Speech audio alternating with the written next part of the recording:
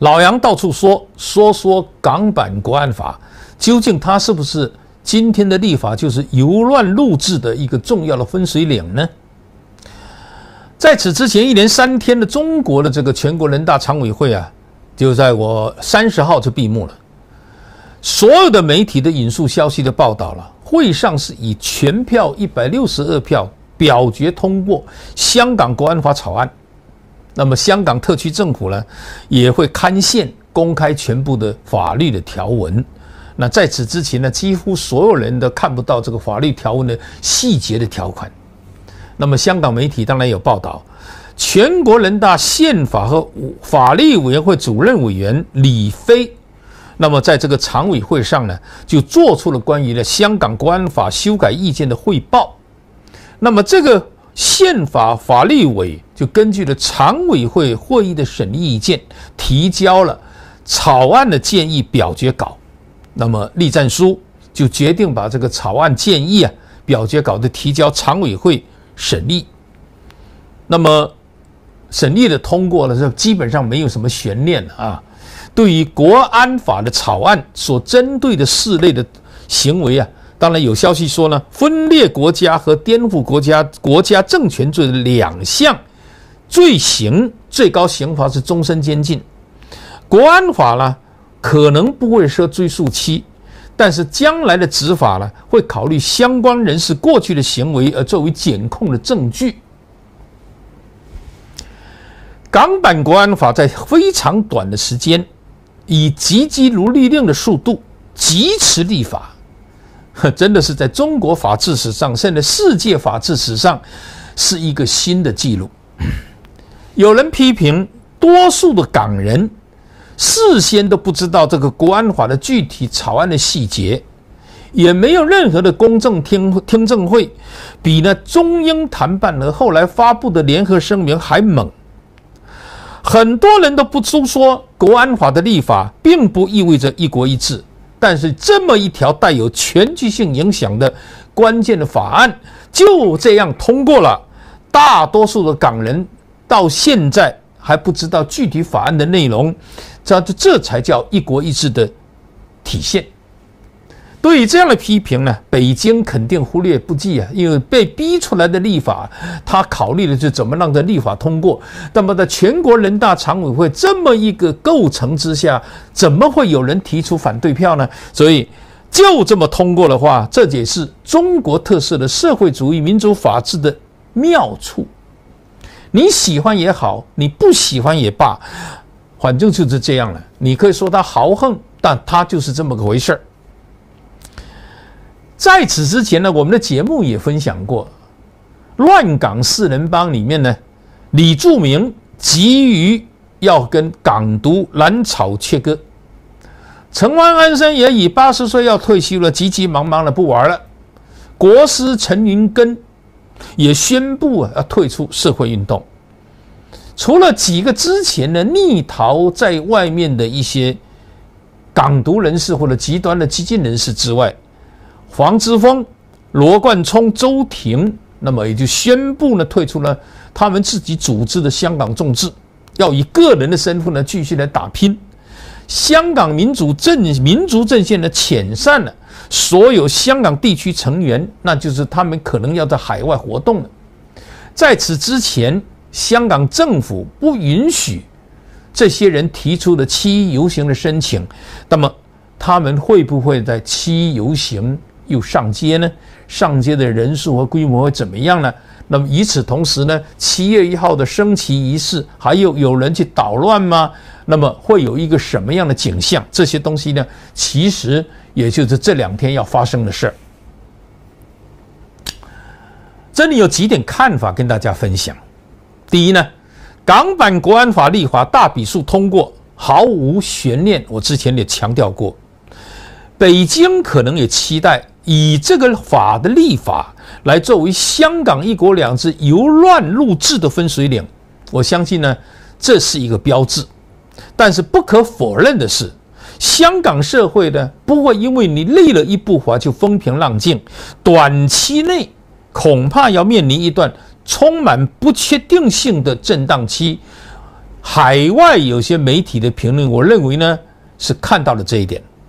第二呢，与此同时，美国也出手了。我们上一周也提过，美国参议院提出了香港自治法案，宣布要对中方有关涉港官官员来实施呢签证的设限制。那么香港政府呢，就北京外交部呢，也还以颜色，启动了跟中方开火的热身。今天呢，也就是三十号，也就在北京宣布国安法立法的同时，那么宣布向香港呢，停止向香港呢来出口军用的设备，取消香港自贸区关独立关税的地位。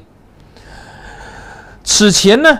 这黎智英在《苹果日报》写文章呢，称赞美国对香港国安法呢进行开战，是使得香港成为呢美国必须坚守的新柏林啊，把它当冷战时期的柏林呢啊相提并论。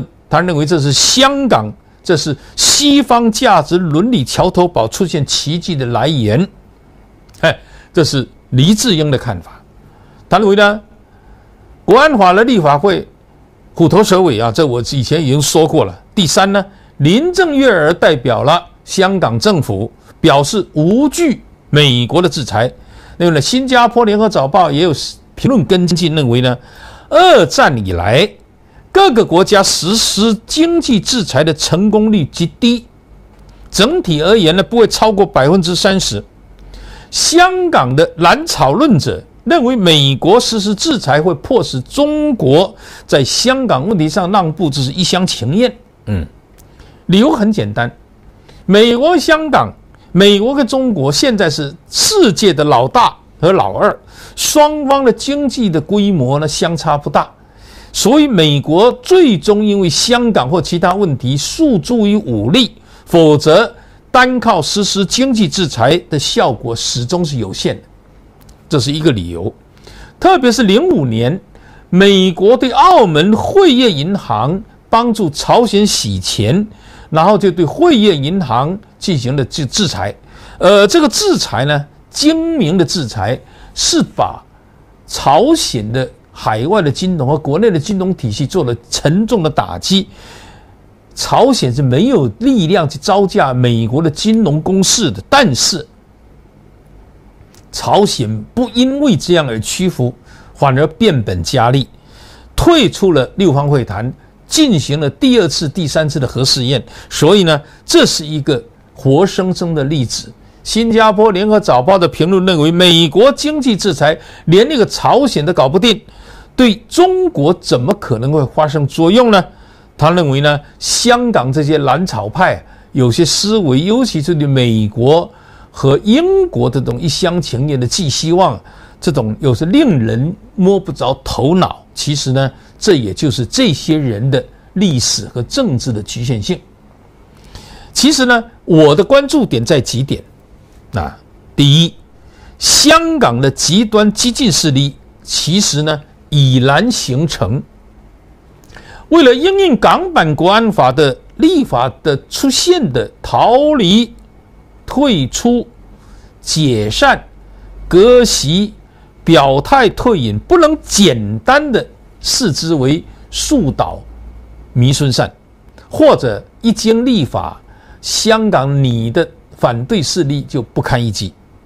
我想，这应该是这些激进势力的化整为零、进入地下的开始。如果坊间的传言，七月一号落地。以及北京的国安机构在香港开始执行公务，那么黄之锋、黎智英可能会被捕，依法取缔香港众志、香港民主党、香港民族阵线之后，这些极端的激进活动一定会是国安机构或者维护国安机构重点打击的对象。但是他们的地下化、隐蔽化、极端化、激进化，可能是今后双方的博弈的一个特点。当然，香港警方在这方面的侦查能力啊，这个呢，在亚洲地区也是屈指可数的。所以呢，这样的一种激进化、IS 化，地下化、隐蔽化，又会给香港社会的稳定带来什么样的困扰？这是第一点。第二点，这也是观察考验影响香港问题的外部因素，也就是美国、英国等国际外力对香港反对力量支持的力度究竟有多大的一个一个时期。目前呢，至少在姿态上。他们都会有措辞严厉的政治立场的表态，甚至叫美国会有一些实际的举措，但实际的作用如何，实际的作为如何，值得观察。一般的情况之下，口惠而实不至，是历史的经验教训。香港能不能成为黎智英主观想象的新柏林？在此之后，美国为首的西方国家的政治取态，就是晴雨表。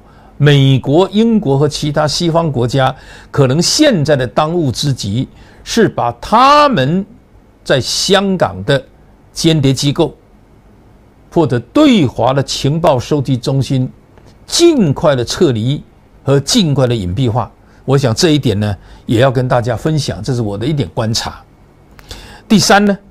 对港版国安法立法之后的立法的执法的力度，至少呢有半年到一年的时间，香港社会呢要有一个观察和一个调整，因为这半年或一年一定会有大案要案的审理，是不是有人判处终身监禁呢？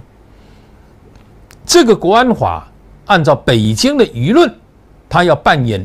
定海神针的角色，反正现在呢，领导人的定海神针一把又一把，是吧？但是能不能达到主观预期的成效，需要实践的检验。多数的香港人，他们的信心能不能恢复到了回归之初的指标，或者零五年之后的一些指标，需要采取审慎观察、审慎。乐观的态度，一般不能太乐观。第四，从历史的经验来看，多数的香港人的政治参与意识，并不像外界想象的那么的强烈。但是有一点必须指出：两百万人、一百多万人、五十多万人港人乐意上街，表达他们对反送中条例的反对。其中的民意基础一定要做细致的分析。简单粗暴的治港政策或许能达到短期或者一时之效，但对于香港的一国两制实践过程中进一步的解决或者有效的解决深层次的矛盾，最大程度争取民心民意是没有一点注意的，或者实际的注意不大。如果没有最广大的民心民力的认同和支持，所谓的第二次回归要遭遇的问题不会少于第一次，而第一次就意味着是遭遇到了重大的挫败。第五，以急速立法、急速落地、急速执法的港版国安法揭开第二次回归的序幕，对于香港是福是祸？目前还没有办法预料。我在这里要引用郑永年今天，也就是三十号在《联合早报》的文章，他提了一个概念，叫“大时代的冲突”，说时代的大冲突和认同政治。郑永年提醒，认同政治一旦与价值观，无论是道德的还是世俗的结合在一起，必然具有无限可分的性质。认同政治在当代越来越成为社会内部冲突和国际纷争乃至战争的一个主要根源。认同政治导向冲突道理不难理解，因为它是建立在自我和他者的区别，甚至是矛盾之上的。所以呢，认同政治所导致的内部冲突最显著的表现，是在冷战结束以来恐怖主义力量的崛起。尤其在社交媒体时代，从香港去年的街头暴乱和抗争来看，实际上很多年轻世代就有这种认同政治明显的一个表征。所以呢，由社交媒体自由者选择而来的思想，往往具有产检效应，啊，非常狭隘的思想裹挟之下，会有一些极端的、激激进化、暴力化的倾向。中东的伊斯兰国，以各国投奔伊斯兰国的年轻人都具有这样的特征，而香港街头的年轻人也有这种危险的苗头。所以呢，认同政治已经从社会个体和群体上升为国家主权对自身的认同。这个呢，是研究香港街头政治以及香港后半段的一国两制实践的一个重要的思考的切入点。可惜，很多人还是用过去的思维来看待今天的香港。香港今后的一国两制的实践，以及避免历史出现重大的反复，应该做如是观。老杨可以说，老杨到处说。